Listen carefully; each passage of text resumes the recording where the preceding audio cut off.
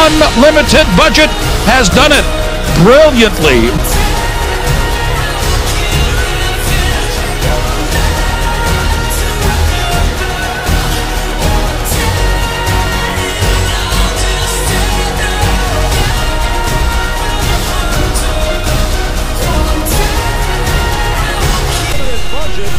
Three for three.